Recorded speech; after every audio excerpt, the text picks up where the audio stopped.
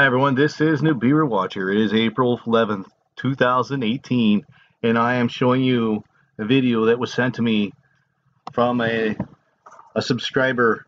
And if you wish your name to be known, please send me an email and I would gladly give you the credit for it. Look at this, people. Just going back and forth as slowly as moves the camera. And this is often, it's not a glitch. It just keeps happening again and again right across that glitch.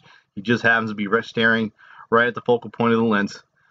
I got a feeling this is a very special lens that can change the focal distance as well. Some pretty high-tech technology. Notice every time he moves in front of that spot, he gets that little glitch. Look at that. Wow. Maybe they are using magnetic fields to, to shape the light itself near the sun too. So if you got guys like this and you got videos, let's light up the internet with these photos. This stuff is not fake. Have a blessed day.